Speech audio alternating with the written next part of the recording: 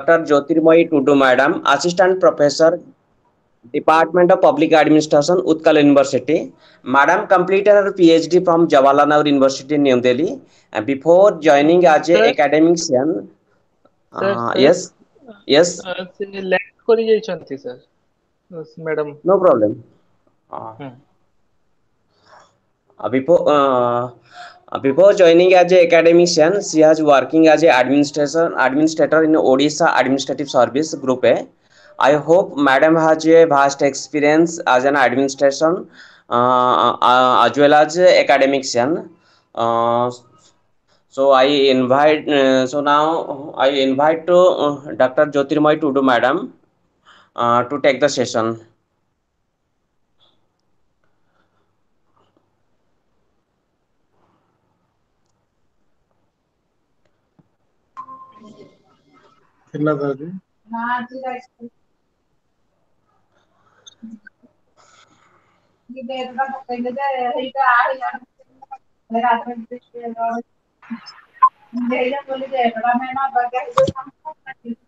Madam please take the session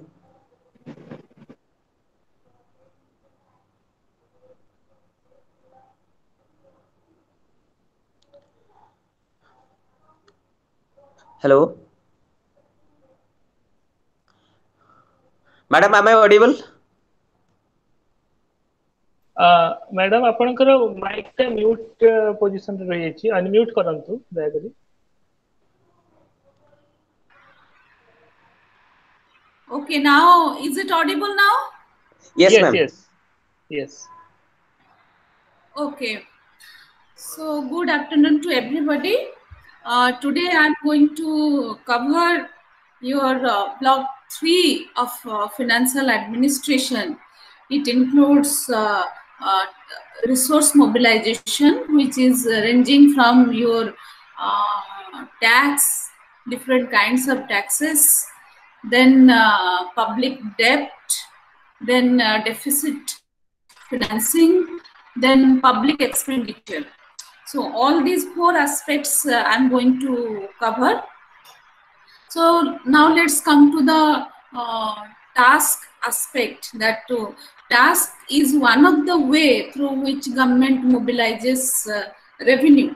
So regarding the definitional aspect of tax is concerned that tax basically in a common uh, uh, man understanding tax is basically uh, a kind of payment a kind of payment to be given to the government uh, uh, where uh, only the citizen only uh, can give it to the government. So it is a kind of compulsory charge or you can say that compulsory payment which is imposed by the government on its citizen or the people who are residing under it okay? So nobody here is going to uh, uh, like a citizen wouldn't deny that "Okay, i'm not going to pay the tax.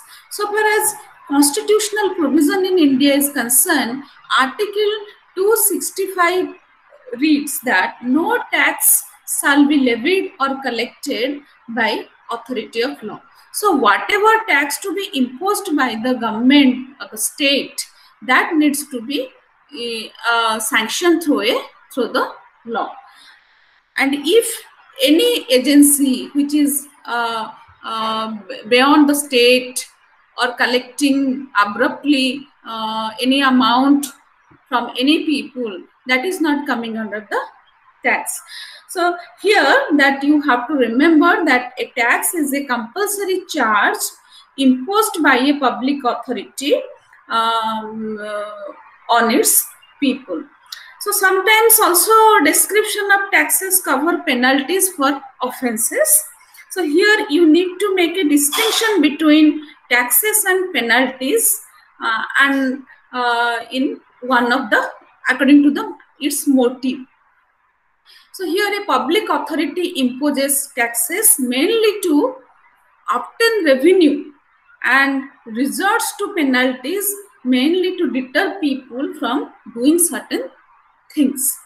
like uh, suppose somebody is a uh, salaried person or suppose somebody is earning then in that case the person need to give uh, uh, the mandated tax to the government besides so far as penalties are concerned that if the person is not going to pay that amount in a particular uh, time period given by the government then in that circumstances the person has to fine uh, to be fined or to pay penalties to the government along with the taxing amount.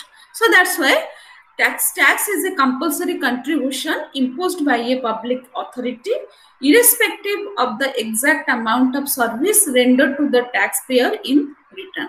So here that uh, we are paying tax to the government, that doesn't mean that in, in, immediately um, we expect a return from the government. No doubt that government is collecting taxes for serving uh, public causes, but at the same time, the people who are paying taxes to the government, they instantly or immediately can't expect the government uh, pay or to provide anything in return of that immediately. So looking towards the structure, the classification of taxes are concerned that basically that we have direct taxes and indirect taxes.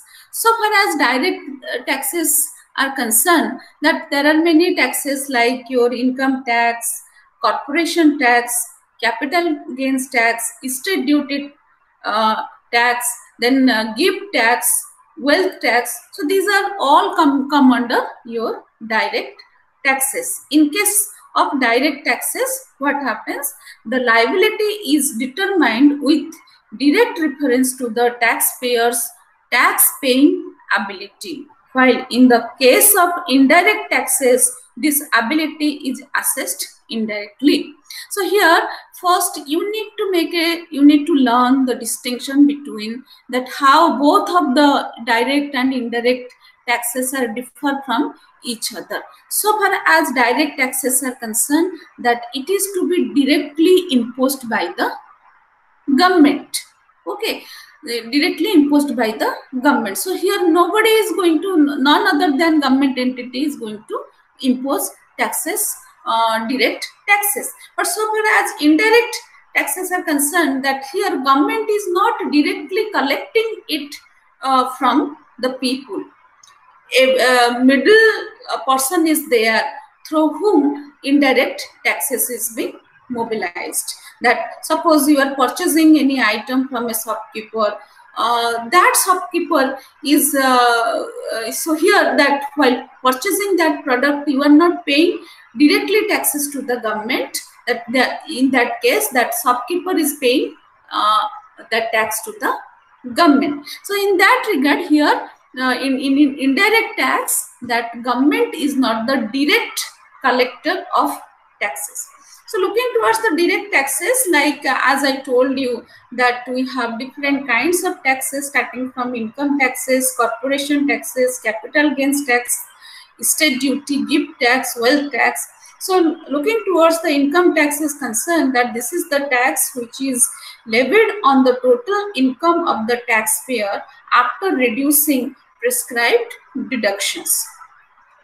So uh, I think all, all of you must be aware about that uh, presently government is trying to restructuring uh, the income tax aspect.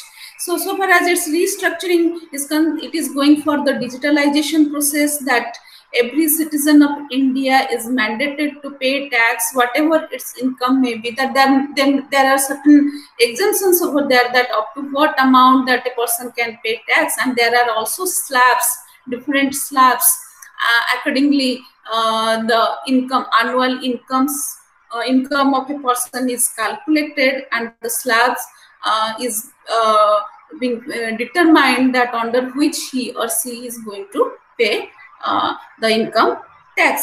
So uh, here that as it is coming under the union list in each year that um, every uh, person who is uh, earning, who is getting some earning, maybe a salaried person or maybe getting earning through any business or any other activities, that person needs to show uh, his or her income to the government and to pay mandated tax uh, as a certain percentage of amount of it. So in India, the first income tax act was first passed in 1886 and later in 1922 a comprehensive act was passed. In 1961, this tax was repealed and new income tax act was passed. So it includes salaries, interest on securities, profits, gains of business and profession, capital gains, value of any benefit, any winning from lotteries or other games, it includes the income tax. But income derived from the agricultural activities is exempted from income tax till date. So looking towards the corporation tax, okay, in India, the companies are also subject to tax on their incomes, which is called corporation tax. Apart from this, the companies deduct tax at source from the dividends of shareholders and deposit them with the authorities. Hence, whatever dividend a shareholder gets is the amount received after deduction of tax. This tax is levied on the income of a company. Okay, and uh, here that government is going to determine the slab uh, or the uh, amount that uh, according to the annual income of that corporation. Similarly, that expenditure tax, this tax was introduced in 1958 in India and it was levied on the persons uh, whose income from all, all sources uh, to be taken into account during the relevant uh, period. Okay, that um, all the um, income to be taken into account of the of the previous period while calculating the tax that whatever expenditure they have made. Okay?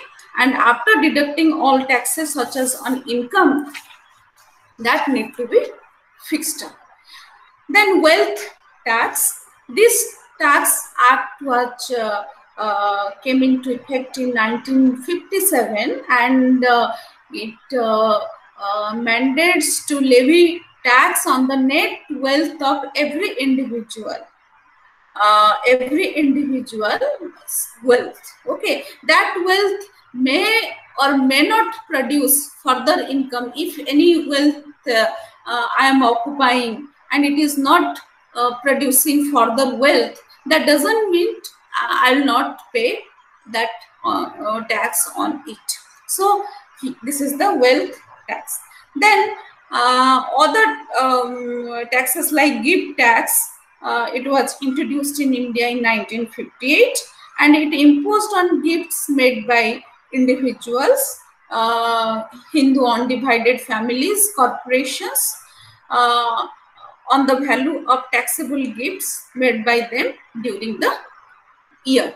That means that in which year that gift was given to them on that year, they have to so the, uh, communicate it to the uh, government that they have got such gift from any person or whatever the source may be and that needed to be taxed. Besides this uh, that there is estate duty okay? This estate duty was introduced in india in 1953 uh, it was levied on the total property passing or deemed to pass on the death of a person. Okay, so here that when somebody died and his or her income uh, or wealth transferred to the other person or uh, the further uh, um, any legal heir. So in that case, that it is to be uh, taxed or the tax to be given by the property which against whom that uh, was transferred. So the duty was leviable on all property belonging to the deceased, which include cash, jewelry, household goods, all these things.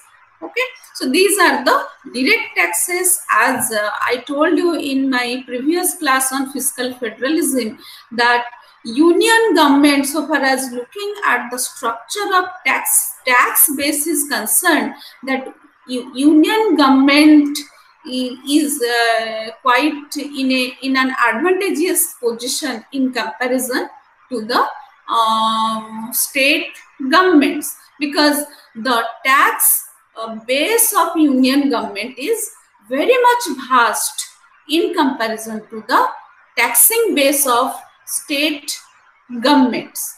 So while looking into the direct taxes and indirect taxes aspect is concerned, that all the direct taxes are coming under the purview of the union government. So here union government is the sole authority to collect those taxes or to levy the amount that what needed to be taxed. However, while looking towards the indirect taxes aspect is concerned that state government is responsible for uh, collecting uh, or imposing uh, uh so far as uh, indirect taxes are concerned. So now come to the indirect tax. Okay. So here um, indirect tax includes your custom duty. Um, this duty includes import duties, export uh, duties, union excise duties, uh, and also the previously uh, there was VAT, value added tax, sales tax, uh, which uh, uh, where continues to be a major source of revenue for the state government. Okay.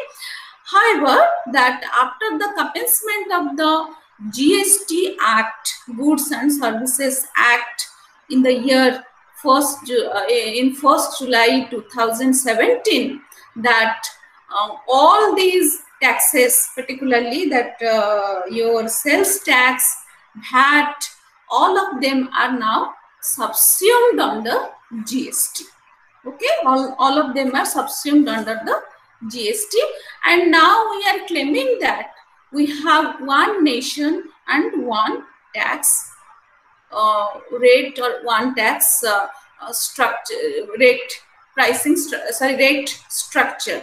So in GST, what happens that earlier under VAT or sales tax, what happens that taxes are being imposed by different governments on the product and its transportation, like uh, starting from the manufacturing uh, to uh, then uh, mobility, like transferring that product to, to other state.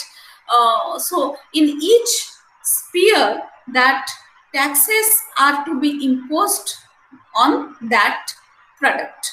However, after the commencement of the GST Act or implementation of the GST Act, what happens that we have created a kind of tax structures that it is uh, reducing the cascading effect of the VAT system. Okay, and it, it is uh, government here intends to make it very uh, citizen friendly. So that citizen would not that it, the, uh, the cascading effect of the tax structure would not affect the citizen. So that's why the gst uh, was enacted. Okay? So these are your uh, direct taxes and indirect taxes. Uh, besides that we have tax revenue. Tax revenue includes all these direct and indirect taxes. And we have non-tax revenue. So non-tax revenue so I, I, have already covered the tax revenue person, uh, portion that in the uh, direct taxes and indirect taxes. So far as non-tax revenues are concerned it includes uh, the receipts the receipt interest uh, interest from the loans. These are included penalties, fines, fees, these are included under your uh, non-tax revenue. So tax is not just here. The here uh, you have to uh, remember the definition that here the compulsory payment uh, needs to be done by the person who is uh, earning and who is purchasing something and also who is using services of the government. Okay? So um, i made the three point over here that so far as earnings are concerned uh, you have to pay uh, you have to show your income and pay taxes. Then secondly if you are purchasing anything any product or any services in that case you have to pay taxes. Okay? So these are about your um, tax which is uh, one of the ways and uh, ways to raise revenue uh, by the government. Now come to the uh, second one that is your deficit financing. Okay? So far as deficit financing aspect is concerned that as uh, you know that uh, uh, in the government budget okay like in uh, daily language we are using the word budgetary deficit. But uh, in um, government documents in the formal bureaucratic setup we are preferring to use the term deficit financing uh, uh, because it, to reduce the apprehension associated with the um, uh, deficit aspect that that such kind of that it is a conscious attempt by the government to reduce anxieties or uh, apprehensions among the citizen that okay that uh, though there is deficit in budget but government is capable to meet that deficit uh, um, in different through different sources. Okay so here uh, while looking towards the deficit financing aspect that so far as definitions are concerned that it is a practice in which a government spends more money than it receives as revenue okay in uh, while uh, uh, I think you must uh, aware about the pages of budget content that uh, uh, there is a revenue receipt and there is a, a page on revenue receipt and expenditure receipt. So, so revenue receipt uh, of a particular year of budget shows that that in this financial year, government has uh, uh, generated this income. And uh, so far as uh, expenditure receipts are concerned that government has planned to so, so that okay, these are the areas where government is going to spend. However that when there is a gap between the revenue receipt and expenditure receipt that it shows that there is a deficit. So when we, a government is going for deficit financing that, that when government spends more money than it receives as revenue and the difference is being made up by borrowing uh, uh, further amount or further fund to meet the gap so this process is called deficit financing and it is a conscious attempt by the government to stimulate the economy by lowering tax rates or increasing government expenditure. Because uh, I'll, I'll say that uh, further I'll speak about that how expenditure matters to government. Because government need to justify its position that what it uh, did in a particular year so so that's why that uh, um, that when there is an increasing government expenditure government need to finance or adjust its deficit so it needs to borrow uh, money uh, from uh, Central Bank of India in uh, Central Bank of India against the issue of treasury bills uh, and government securities. So deficit financing is a, a, is also considered as one of the sources of uh, mobilizing uh, resources, uh, though it is not uh, uh, about raising taxes. Like in raising taxes, we are that here government is getting money and essentially not um, promising you okay that you pay this immediately i will do this. And also citizen is also not expecting that. Okay? However in deficit financing that uh, here government used to borrow money from the central bank of india or reserve bank of india and depositing securities with the rbi and trying to meet the gap between the revenue and the expenditure. Okay you can like if you take the mathematical uh, formula if you put it in a mathematical formula that you can uh, say that uh, that when uh, here the uh, expenditure is uh, bigger than your revenue. Okay so now come to the, uh, so, so, all these actually deficit financing and your uh, public debt and expenditure, they will go simultaneously uh, because I'm not here going to take all the concept independently. I'm going to integrate it total all together. I'm going to integrate it. Okay. So now come to the public expenditure uh, while uh, if you read the, the literature on public expenditure, uh, that uh, you have to address uh, you or you need to learn certain issues like why public expenditure.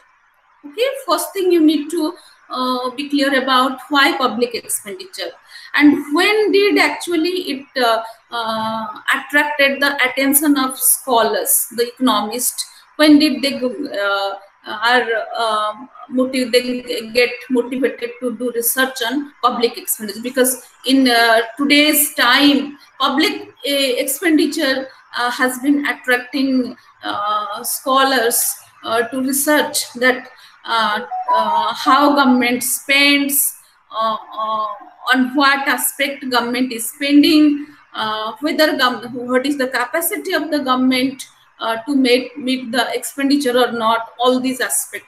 Whether uh, government is really uh, effective enough uh, uh, to manage expenditure in an effective manner. Okay? So this is the first point. Then second issue is with uh, that there are different ways there are or you can say that there are different approaches to understand public expenditure. Uh, like you have different uh, approach like uh, mar uh, marginal uh, maximizing marginal utility approach then uh, public goods approach then public choice approach. So these are the approaches which provides the means or the wage how government need to spend. These are the theoretical aspect then third uh, uh, thing is that uh, that uh, whether or third thing is associated with the concern whether too much expenditure uh, is uh, pushing the government towards bankruptcy or not. That concern is also being raised in literature. So looking towards the first aspect that why public expenditure public expenditure in the, if you read the literature the um, textbooks on uh, public expenditure that classical economists are very much skeptical about public expenditure. They advise the government to be uh, to take a very rigid approach in uh, spending. That the role of the government no doubt that government needs money to run or to manage the people's affair. so uh, that's why government have the taxing authority and government need to raise it. But here government required to raise taxes in a rationalized manner. Government should not go for any abrupt taxing mechanism or uh, raise the taxing slab uh, um, in any way. No that that is not the uh, way that governments uh, should function in imposing taxes. But so far as expenditures are concerned, that government is also to be very economical that uh, how to spend. Like in our house, suppose we'll take that the example of uh, our house, uh, the financial management in our house. Suppose our income is the uh, annual income of the family is this. Okay, so if uh, will uh, spend more than that amount, then automatically we have to make borrowings or we have to put into the debt. But so far here, the argument given by the classical economists, starting from Adam Smith, all these fellows, that that government need not to uh, uh, government need to manage its deficit, and government here government should not uh, uh, go for too much expenditure because too much expenditure or exp or any kind of irrational way of expenditure may lead government into a debt trap. Okay? Then uh, so far as uh, the uh, approaches are concerned that here if you look to the first approaches the marginal utility aspect. So here the marginal utility aspect is that here uh, the state needs to satisfy its community. Okay state need to maximize its justification that it is for the citizen and uh, it is there to protect uh, the citizens need. So here that uh, government need to think about that what is the uh, crucial uh, services or crucial sectors where government government need to spend like security. Security comes first like government need to spend in uh, uh, defense. Uh, so here here no question would raise by any citizen that government is spending it irrationally okay. However after uh, second world war that most of the government realizes that that war uh, security aspect is not just the way uh, uh, to meet the satis- the sat- the need of the citizen. There is need to go for welfare of the government. So this welfare oriented approach of the government after the second world war uh, led to um, develop new theoretical outlook in the form of public goods approach and public choice approach. Public choice approach came later on that after the uh, with the commencement of market reform, public choice approach came. But after the Second World War, that focus uh, was on that public goods approach, where um, the role of the government uh, uh, was restructured that government is not just to provide security to its citizen that here government also required to uh, spend um, for the welfare of uh, its citizen maybe in the form of providing uh, good health care practices education uh, transport so all these crucial uh, services which presently we are felting okay now these are the um, necessary items which uh, may which uh, have the potential which have the potentiality to reduce inequalities in the society that their government need to spend.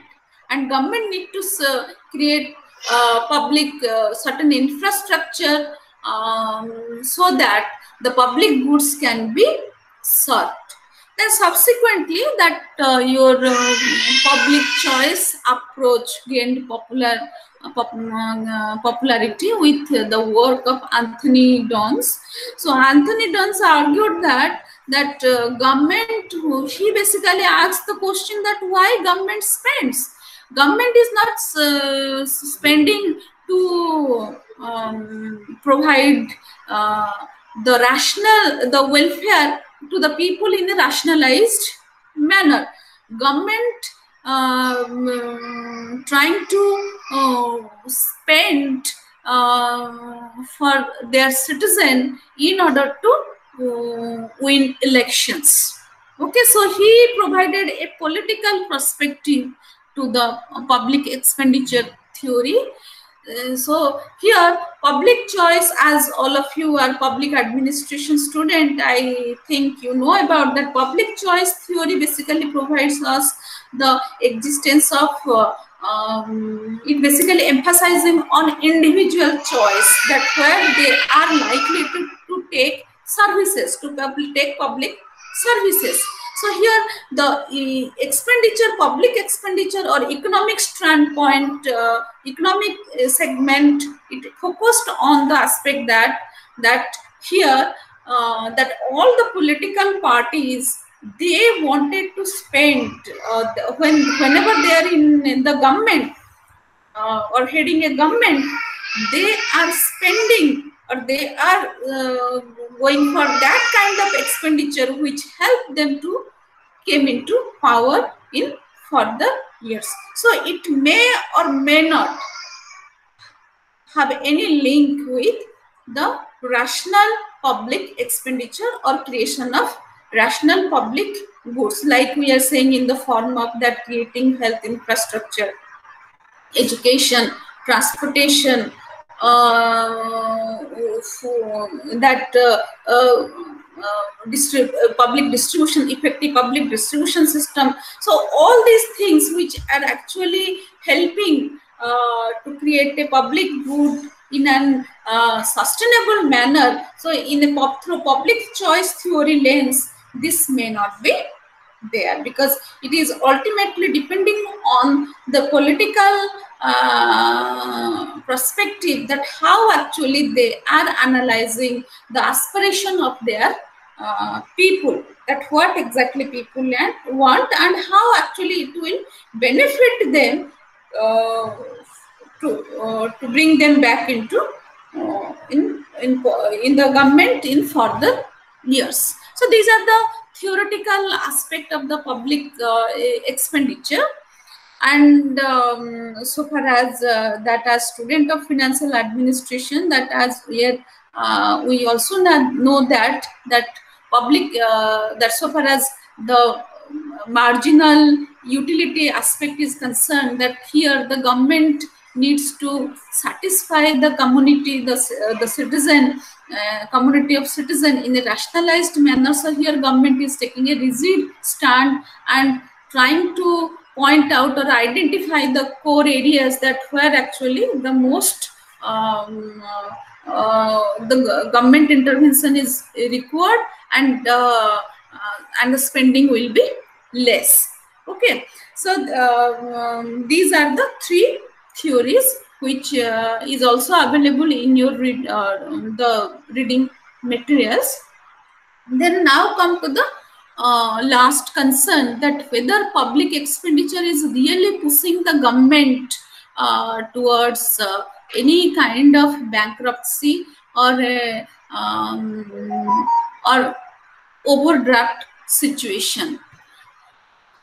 Such kind of question may be arise in case of a in case in case of an individual or a company or a corporation. But while looking towards the government is concerned that here always uh, certain kind of uh, um, respite uh, is existing in the form of that as government has the ability to uh, impose taxes uh, it is uh, it is the mandated agency to collect taxes so that's why government may not uh, be uh, pushed into a position of the overdraft or uh, may not uh, be in a situation of bankruptcy. But despite uh, that kind of understanding, that there are also situations that when government uh, are governments have experienced bankruptcy and overdraft situation. So in that uh, in order to address that situation that uh, after the uh, market reforms what happened? That many government they uh, they have given uh, um, support or uh, advice through by different international financial institutions where they um, suggested government to rationalize their uh, spending. Okay? To rationalize their spending. Even india is also also one of one among them. So here institution like imf uh, the- it provide uh, uh, expertise and uh, suggestions and as well as loans to those economies who are struggling with their overdraft situation due to their expensive welfare activities though they have expensive welfare activities but at the same time they didn't have enough revenues to meet the needs of those welfare activities. So in that circumstances the market reform provided or the phase of globalization has provided an opportunity before the governments to um, be the part of the global economy. And here international monetary fund suggested them to reduce their expenditure so that as a result that most uh, india have our that fiscal responsibility and budgetary management act. And here that uh, uh, the uh, lending component was that that government need to reduce its expenditure or rationalize its, its expenditure so that it would be able to uh, go for um, uh, surplus budget. And at the same time government have also given the uh, power of authority to raise loans from uh, the outside and as well as from the domestic sphere. And at the same time that the central bank uh, of uh, uh, india has been start uh, has been continuing as a major supporter for to, to um, to stand as a that how as a manager or you can say that as a coordinator in managing the uh, overdraft situation. Okay um, if you take the example of 90s that in 90s that most of the state governments uh, uh, they have uh, uh, they they were struggling with uh, huge uh, budgetary deficit and at that time that most of them um, asked for the loan from the imf and I, IMF put a condition on them uh, that they need to reduce their public expenditure. And this public expenditure uh, um, finally led to also that uh, to regulate uh, or to restrain the role of reserve bank of india uh, in uh, supporting uh, the government. However that such kind of uh, um, um, that attempt of restraining the role of rbi uh, actually not uh, it, it is not very uh, going on in a very smooth manner and uh, which attract us to go for that the concept of public debt okay? That public debt and how actually rbi managing its public debt. Uh, uh, that aspect is coming into picture now. So far as uh, public debt aspect is concerned that uh, uh, it includes the total liabilities of the union government that have to be paid uh, from the um, consolidated fund of india and here union government classifies its liabilities into two broad categories uh, the debt contracted against consolidated fund of india um, and uh, the funds received outside consolidated fund of India. So, uh, so far as the constitutional provision is concerned, it is coming under your Article 266 clause 2 of the constitution where the government merely acts as a banker or the custodian and uh, and this the second type of liabilities is also called public account. Okay? So the public debt basically it is the total liabilities of the union government you may raise the question that whether the state government, the debt uh, occurred by, uh, incurred by the state government are not coming under the public debt or not. Uh, that here, that uh, union government always try to made a position that the state uh, uh, government, the, the debt incurred by the state government um, is separated from the debt incurred by the union government. And here union uh, articles are uh, certain articles are there which have given the authority of the to the union government uh, to borrow to borrow. And um, uh, so far as uh, the powers are concerned that the power of the union government is uh, much more broader in comparison to the state governments uh, in the matter of borrowings.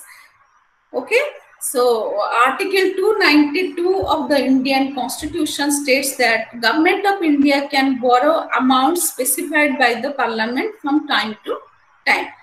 Whereas Article 293 of the Indian Constitution mandates that the state government in India can borrow only from the internal sources. So here public debt, uh, so far as the structure of public debt is concerned, that uh, there is external debt, there is there is internal debt, and so far as uh, internal both uh, both of the debts are both kinds of debts are concerned, Union government is already empowered to um, uh, borrow from external sources and as well as, as well as from the internal sources. But so far as uh, the power of the state governments in India are concerned, that they can only borrow from the internal sources.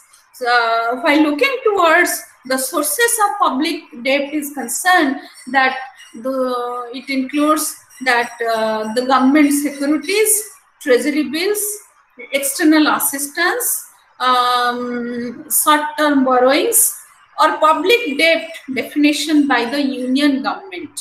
Okay, so if you look to the public definition of public debt in uh, general economic theory and uh, uh, the definition of public debt of a particular state, that also attract differences. That also suggest differences. Like as I told you that government of uh, that Union of India has always uh, making the point that that its borrowing, uh, its debt is already separated from the um, the debt incurred by the state government.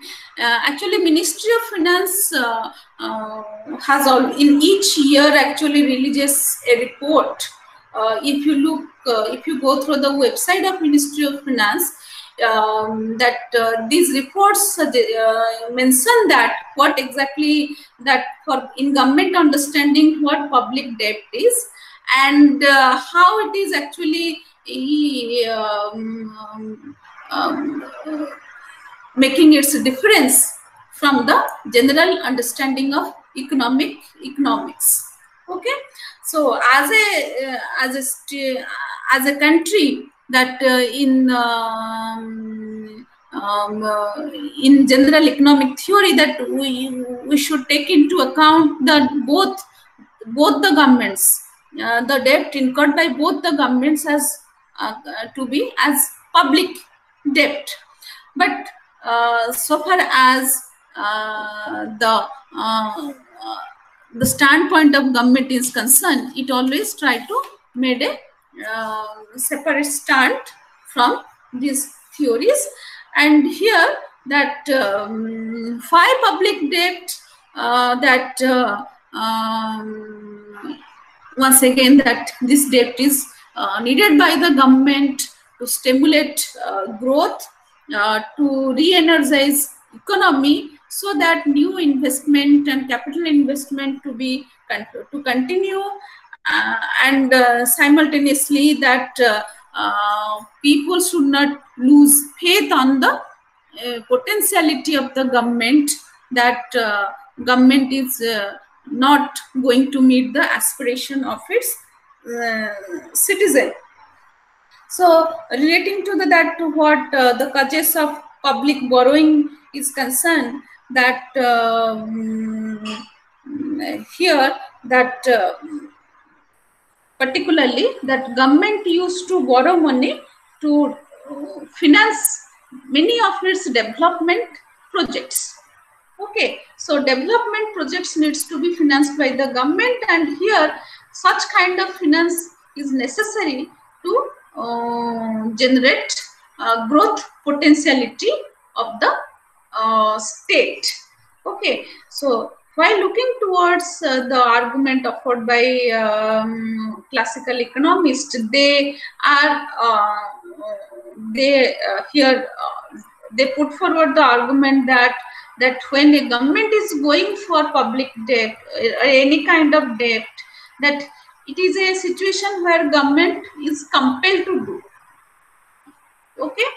However that after the uh, after the great depression and uh, that uh, or the popularity of welfare economics or the keynesian argument that here some kind of positive note uh, uh, have given to the uh, process of public debt that here that public debt would have the potentiality to raise the national income lead to effective demand in the economy increase the employment uh, and output so um, also that to create uh, public goods and uh, government can go for more um, public expenditure. So these are the uh, arguments that we suggested about that why public uh, debt, while looking towards the role of Reserve Bank of India in the management of public debt is concerned, that basically that uh, the Act uh, Reserve Bank of uh, Reserve Bank of India Act 1934 under uh, section 21 it empowers RBI to act as a banker or and debt manager uh, to the government to the state governments and here that uh, RBI has the obligation to undertake the receipts and payments of the central bank and uh, sorry central government and uh, to carry out the exchange remittance and other banking operations including management of public debt of the central government. So here uh, so far as the act is concerned it uh, was enacted in the year 1934 and it uh, uh, mandates the reserve bank of india um, to manage the public debt of uh, the uh, government of India. So uh, here it is being considered as the traditional obligation of the um, Reserve Bank of India. Um, so while looking towards our uh, like our planned expenditure, non-planned expenditure. Presently, that uh, government is not using these words. That after the dismantling of the planning commission, that here uh, Reserve Bank of India has to uh, manage or to play uh, the role of a coordinator uh, to manage the debt of uh, government of India and so far as the debt of the states are concerned, that state government needs to go for an agreement with the RBI, uh, after which that state government, uh, uh, that RBI would uh, uh, go for or provide any kind of support to the state government to manage its debt. Okay, so uh, it is popularly referred as banker to the government. Uh, as a banker to the government, it receives and pays money on behalf of the various government departments. It also undertakes to float loans and manage them on behalf of the government. Okay, then uh, um, it also uh, requires to um, uh, advise uh, the government whenever called upon to do so on monetary and banking related matters. So here that um, uh, while reading about uh, while somebody uh, when you read about monetary policy fiscal policy that uh, um, that so far as monetary policy is concerned that uh, the role of the RBI is coming as the center to the center that because it regulates monetary policy it is the it is the traditional role of the uh, Reserve Bank of India. However, in case of India, what happened that uh, RBI simultaneously acted as the banker to the government and also framed the monetary policy. And uh, it automatically create conflicts with the uh, notion that whether RBI is an independent agency or not. What happens to the autonomous role of the Reserve Bank of India. That concern has always been there, and particularly after the market reforms, this concern uh, has been hanging over uh, throughout the years. Um, that were uh, with the enactment of the Fiscal Responsibility and Budgetary Management Act, which actually mandating to restrict the role of the Reserve Bank of India with regard to the management of the public debt. But despite that, uh, RBI is still um, managing the public debt and simultaneously that though government have uh, uh, government of India have attempted to come up with a separate department as uh, to be known um, um in, in, no, uh, in the name of that public debt management department that is still um, in the that is not yet been uh, achieved. That uh, where in the year 2011 that uh, uh, a committee recommended to the government that the government need to go for a separate department to public uh, to manage public debt. So it should not be it should not uh, be the concern of the rbi anymore. But despite that recommendation still um, RBI is continuing with in managing the debt and also simultaneously that it is also trying to um, um, frame monetary policy because monetary the role of monetary policy is to uh, um, supply money in such a manner so that the inflationary tendency in the economy should not be uh, should be balanced. Okay. And also at the same time that uh, uh, that government expenditure needs to be uh, made in a rationalized manner. But at the same time uh, rbi is uh, providing some sort of solace to the government that to man in the form of managing its debt.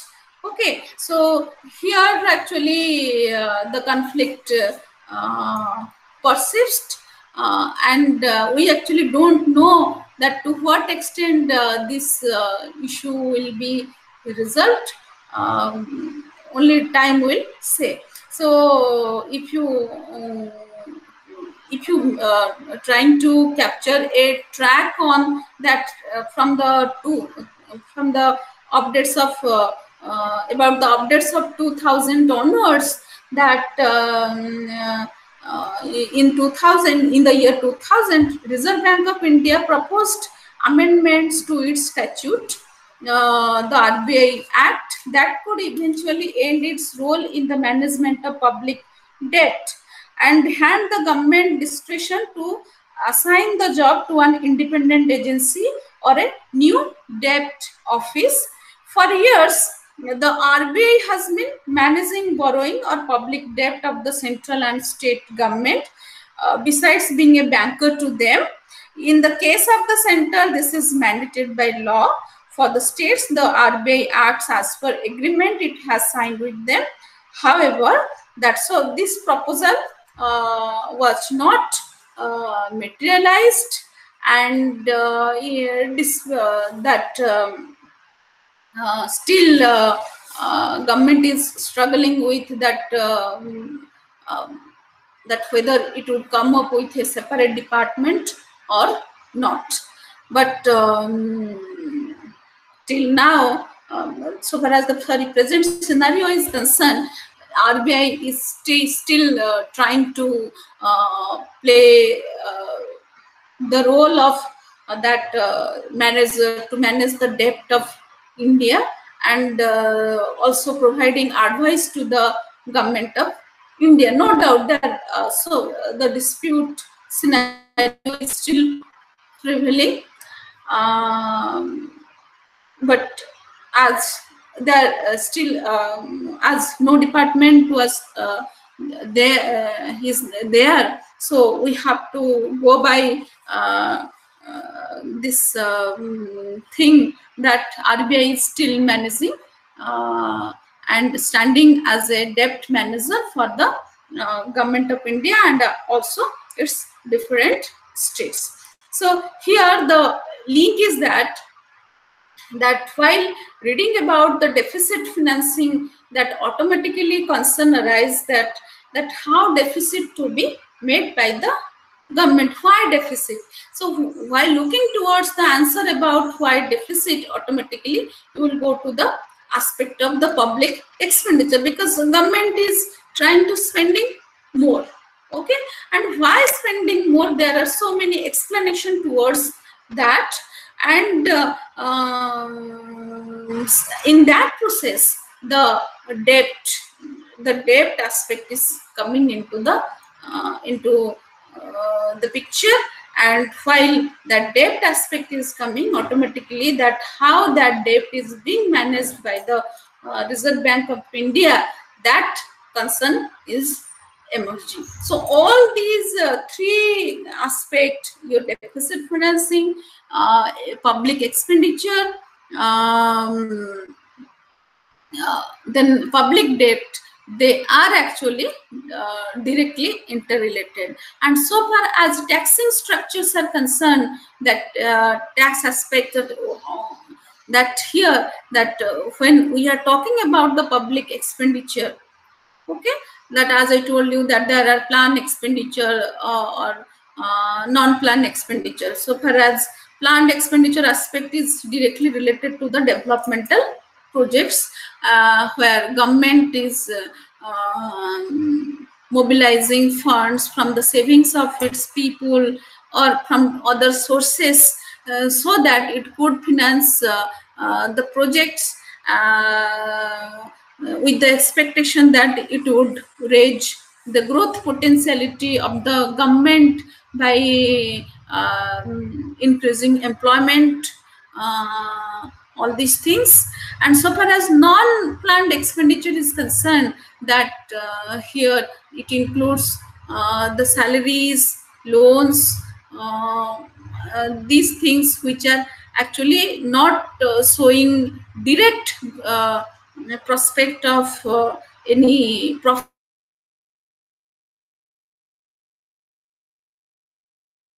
however that now um, government is uh, or the union budgets are not using uh, this term uh, because of the dismantling of the planning commission. And uh, here you need to also learn that um, the tax uh, the current tax regime which is being restructured particularly the reforms came in the shape of digitalization of the uh, direct taxes and also indirect taxes, these issues to be touched uh, by all of uh, you uh, in order to learn the other uh, contemporary aspect of the sources of mobilization. So with this, I am ending. You you have any question or queries, you can ask. As Vigneshwar told me to limit uh, my presentation um, uh, to within one hour, uh, so that uh, another half an hour would be uh, given for questions. Vigneshwar? Okay, ma'am. Thank you, ma'am. Uh, in this session, uh, you also explain elab- elaborately uh, the source, main sources of revenue, that is tax and non-tax. Also, you explain uh, the importance of direct taxes uh, or in, indirect taxes. Uh, uh, uh, taxes which from the source of revenue for union government. Also, you explain deficiency financing uh, and uh, the proposals of deficit financing. Uh, and uh, I request all the learners, uh, please, if you have any questions or doubts in this session, uh, please unmute your mic and directly uh, ask to the resource person.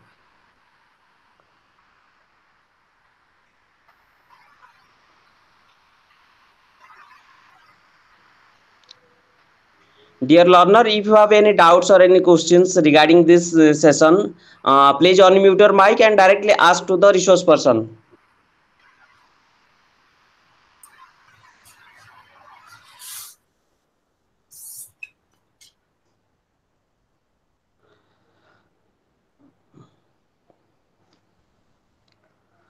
I think, ma'am, uh, uh, no more questions here today.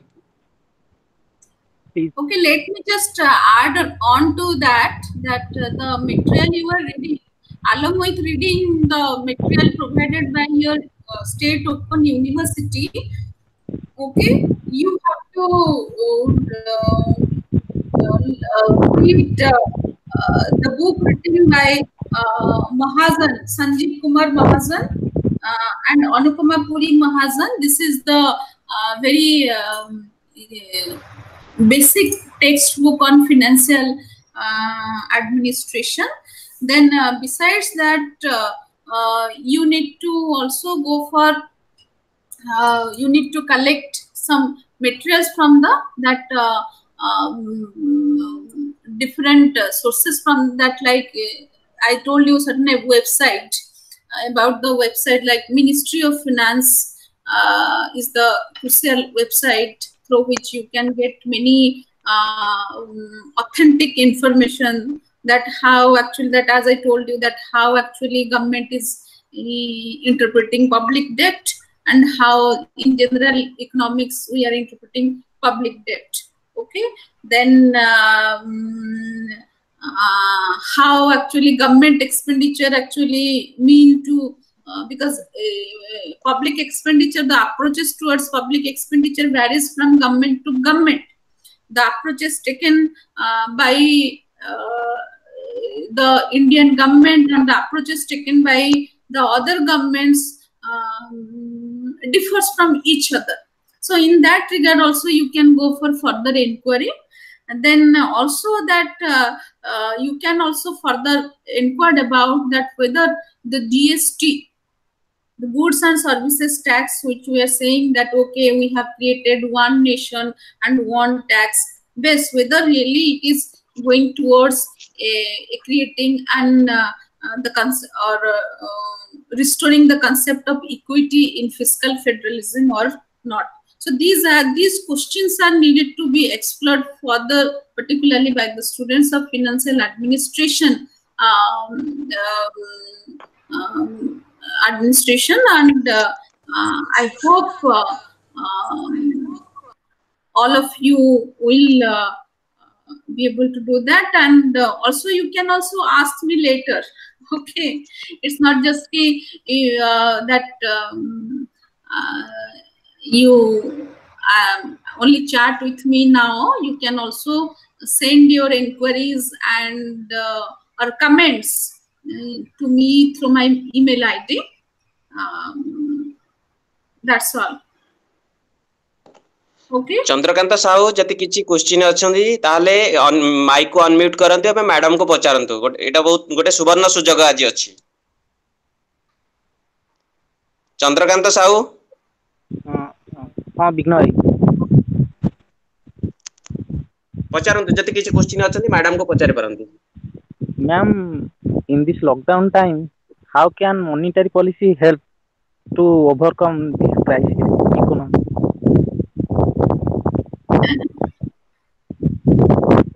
You see, uh, so far as uh, the traditional, the conventional or traditional aspect of monetary policy is concerned, that the role of monetary policy is to uh, supply money and to make a check on it or to control it so that it will not lead towards any kind of inflationary tendency. That's the first aspect coming into our mind. The monetary policy, uh, when uh, RBI is framing, that RBI is framing as an uh, as an autonomous. Uh, here you need to first uh, cautious that uh, or to be aware about that that RBI is independently uh, trying to frame this policy. It is not coming under. It is trying to um, um, escape from any kind of influence over uh, from any maybe from gov- government in, in framing monetary policy. But while uh, looking towards the lockdown aspect is concerned, that first role here is coming uh, the uh, here the role of the government is coming first, not exactly RBI. Okay, RBI, no doubt, um, as I told you earlier, that in in the context of India, that what happened, um, that RBI has been uh, continues to be a, a, uh, a coordinator in managing the public debt. Whatever development, uh, whatever finances are being required by the government to fund developmental projects, RBI uh, used to uh, support government uh, by buying the government securities. But if you look to the crude banking aspect, that uh, or the overall uh, banking uh, uh, uh, arrangements are concerned, so far as the global practices are concerned, all the central banks are not used to actually manage the uh, mandated to manage the uh, debt of uh, government. Okay, as um, the statute, the statute of the RBI, the RBI Act of 1934 mandates it to manage the debt of uh, uh, government. So that's why it is continuing with it in order to play a uh, play the developmental role. But after the commencement of the economic reforms, okay, I am talking about the economic reforms. We have opened the our economy in the phase of liberalization.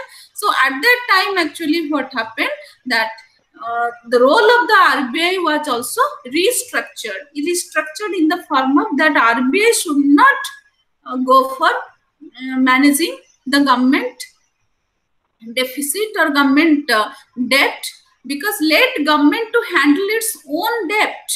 Okay, so during lockdown period, no doubt that here that role of the government is coming uh, first because government needs to manage the uh, entire mishap of the lockdown uh, or, or government need, to spend accordingly. Okay? But at the same time that how government is actually uh, uh, doing that maybe through incurring uh, more debt.